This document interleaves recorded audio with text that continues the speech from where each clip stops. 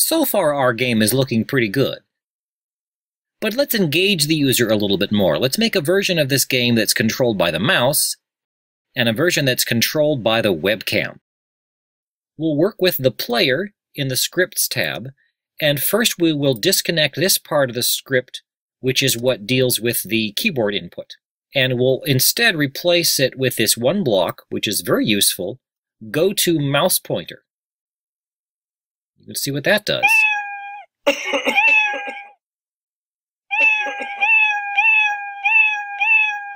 In fact, most of us are so good at mousing that this game would really be too easy.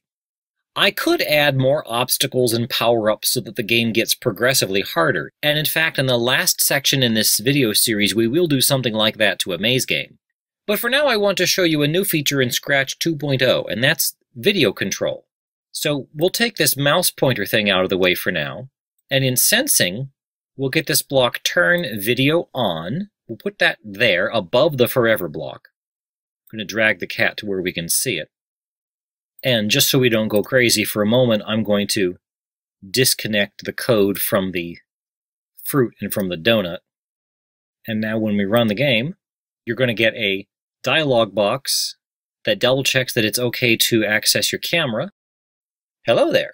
We'll use this video input to control the cat. We'll make it point in the direction that I wave. Obviously, to make this work, you'll need a webcam, you'll need some decent lighting, and you'll need a background that doesn't have a lot of motion in it. From motion, we'll work with point in direction. From sensing, we will get the video direction on this sprite. And now when we run it, go. When I wave at the cat, he changes direction.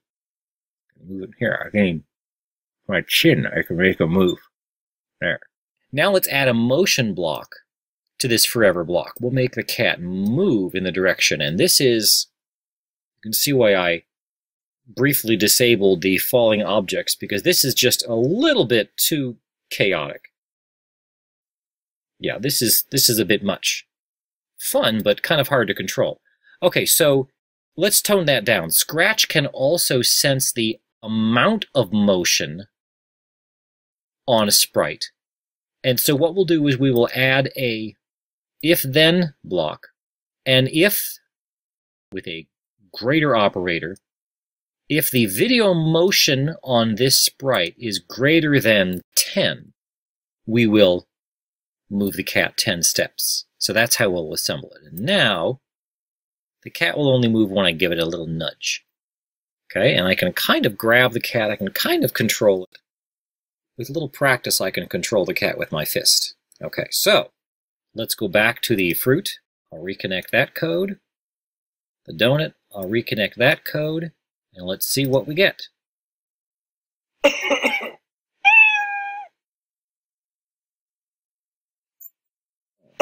Oh. On.